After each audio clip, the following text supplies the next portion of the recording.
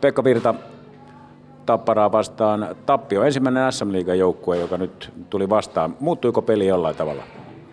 No kyllä se muuttui aika totaalisesti. Saatiin hyvä, hyvä muistutus ja oppitunti siitä, että mitä on niin SM Liigan huippujoukkue tällä hetkellä puolustuspää pelaaminen ja tuo tiiviys, että viisi, viisi, viisi miestä peli alla oli kyllä todella nopeasti, että pelasi tosi hyvän puolustuspeli ja me kiistatta myös pelattiin aika hölmösti keskialueen menetyksiä tuli kyllä ihan liian paljon ja, ja tota, se on iso oppi tästä pelistä kyllä, että se peliluonne kyllä siitä muuttuu, kun pystytään sitä asiaa korjaamaan, mutta jostain syystä niin ihminen tuntuu olemaan vähän tuommoinen, kun yritetään, yritetään helpomman kautta ja kiistatta tuolla Euroopassa vähän onnistu, onnistu päästiin ylivoiman hyökkäyksiin maalipaikoilla vähän helpommin ja nyt yritettiin vähän tuoda helpon kautta, että se on vaan mentävä työn kautta silloin keskioloiset yli jopa päätyön kautta ja laajalla, laajalla rintamalla. Että tota, siitä saatiin kyllä hyvä muistutus, ei, ei sen kummempaa.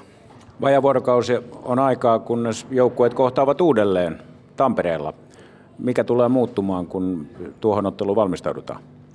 No kyllä lähdetään ainakin siitä, että me aamulla katsotaan noin 50 menetystä tuossa keskialueella, että jollei ne vähene, niin sitten mä, sit mä ihmettelen kovasti, mutta kaiken kaikkiaan niin tota, katsotaan tota nauhaa ja pyritään edelleen pääsemään noin kuin sanotaan tämmöisen järkevämpään jääkiekko pelaamiseen. Että ei ole hullu meitä päästä päähän menemistä, vaan tässä on oltava, oltava pelin laaja koko ajan läsnä ja sitten sen sisällä pystyttävä tekemään sankaritekoja. Että tänään kiistatta niin tota, meidän ykkös, ykkösnyrkki oli rikki ja, ja vielä putos, putos tuosta ykkösylivoimasta pelaaja heti ensimmäisessä vaihdossa pois, että se hiukan söi, söi tota maalintekovoimaa meiltä, mutta muuten niin kuin pelillisesti niin täytyy saada, saada vaan tota pelisapluunaan niin tuonne takaraivoon mutta jotain positiivastakin varmasti ottelusta jäi.